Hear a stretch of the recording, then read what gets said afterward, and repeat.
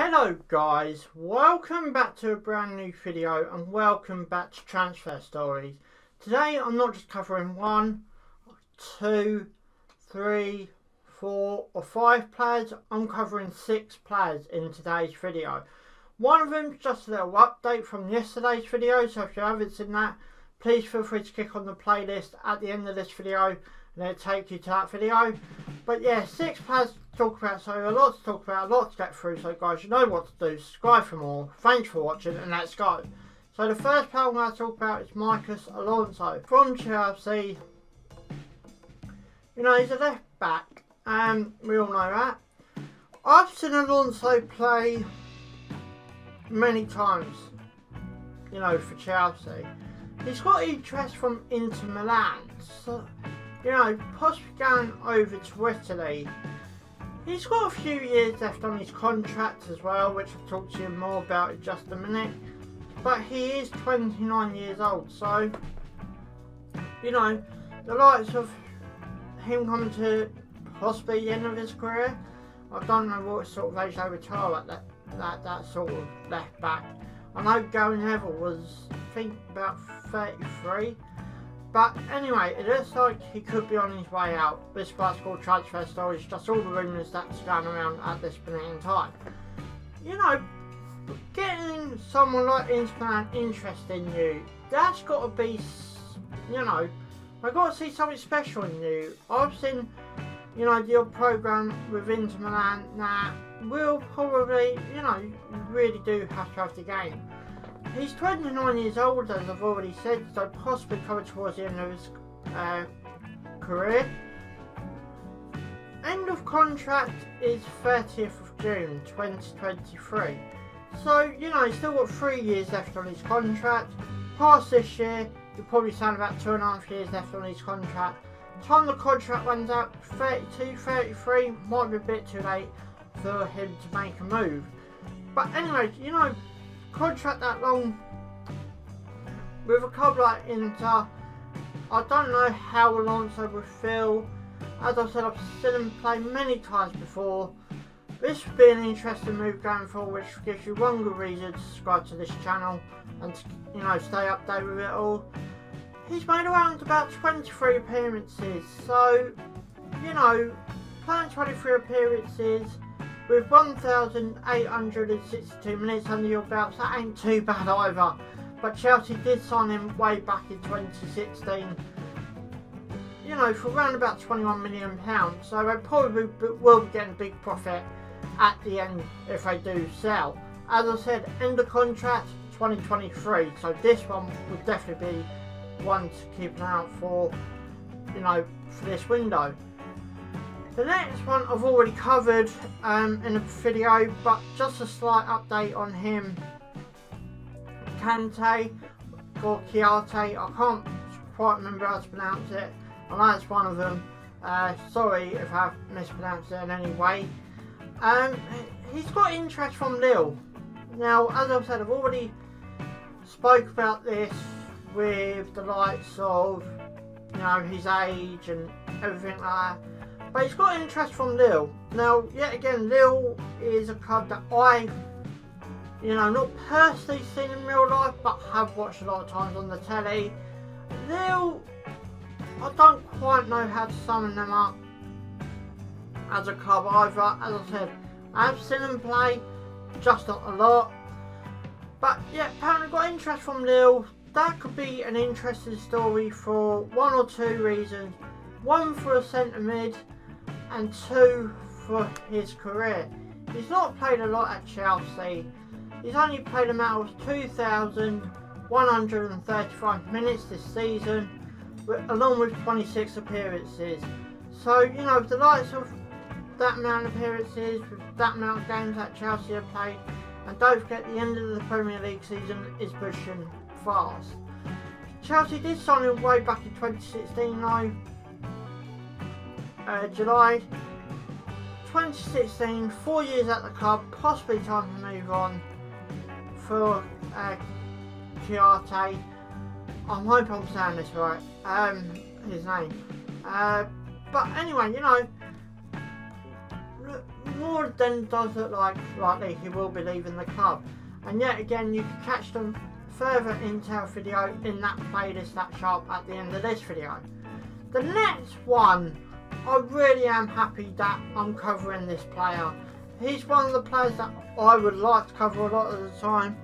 One of the clubs I can't see him really going to. The other one, it could be an interesting um, match-up between him and Alonso. It is Andre Griezmann. He's got interest from Arsenal, which, as I said, I can't see him going to, but Inter Milan. Now, we all know that he does play for Barcelona, but I very rarely see him in a Barcelona shirt. The 29 years old has had 43 appearances this season. As I said, that's not a lot if you think about it. Now, the likes of how many games Barcelona have played. You know, it's 29. Is it that time for him to move on? Did Barcelona buy him just slightly too late? He's played a minimum of 3,183 minutes and the contract is not until the 30th of June 2024 so he's still got three years, three years left on his contract. This one could be slightly interesting because obviously if Alonso goes there to Inter, Griezmann goes to Inter, Lukaku's already at Inter, this could really be a powerhouse uh, in Serie A in the near future if these two deals do go through. Obviously you will know if they go through, there'll be a video on my channel all about it, so you know you never miss it. But Griezmann and Inter shirt, what do I think about that? As I said, I think it'd be great for Griezmann to go somewhere else. With the likes of, I know, excuse me, I know Messi's already coming out of, you know, leaving Barcelona, but Griezmann is not really that central striker. So, with the likes of Griezmann covering the left wing, eh, it's got to be a bit tough, I think, with the likes of, you know, the players they got there already. This one could be, as I've said, interesting, especially if Alonso does go there. But as I said, the best way to keep update is subscribing to the channel. The next one is just a quick update from yesterday's video. If you want to hear this video, it might not be yesterday, it might be a day before, I can't remember when it was uploaded, but yeah, again, it'll be in that playlist that pop up at the end of this video. It's Jack Grealish has got interest from Dortmund, can't there, if I'm all honest. But that's just a bit of the update that I'll, so I will cover you on. But yeah, he's got interest from Dortmund. As I said, I can't see him going there. But as I said, do you want to see that video, please feel free to go back and check it out. Then obviously now we're going to Henrietta. Sorry if I mispronounced I might probably have somewhere. The Tottenham uh, left back, I believe he is. We've barely seen him in a Spurs shirt. He has played 35 appearances for Tottenham this season, but if you think again, where how many appearances Tottenham have done, uh, Arta on his way to Monaco could be a good move for him. Let's be honest with the likes of you know, Arthur going to Monaco, 27 years old, so he's still got the peak of his career. Tottenham did sign him back in 2017 for around about 22.5 million. So they probably will get a huge profit for this player if they do let him, let him go.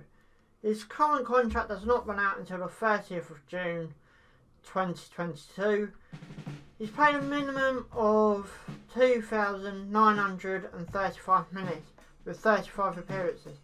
As I said, 35 appearances, that's not a lot if you think about it. You think about FA Cup, League Cup, the League. So I think it may be time for Arthur to leave Tottenham. But anyway, as I said, best way to keep up to date is subscribing to this channel. 27 years old, so as I said, still got the peak of his career. Signed him back in 2017, so he's still, you know, been at the club for three years, and obviously signed a five-year contract. but then you really have got to think about you know, has got enough game time at Tottenham this season? I don't think he has. I think he might be better moving on. My last player for today, and I'm so excited to cover this player, is Daniel Alves. Now the Bayern Munich left back. Daniel Alves is one of them players that so yes, yeah again sorry for name has really got, you know, the skill, the quality that everyone that someone like Man City wants. And funny enough, that's the club he's got interested from, Manchester City. He's got one goal to his name this season, so with the likes of, you know, being 28, one goal to his name, playing left back as well.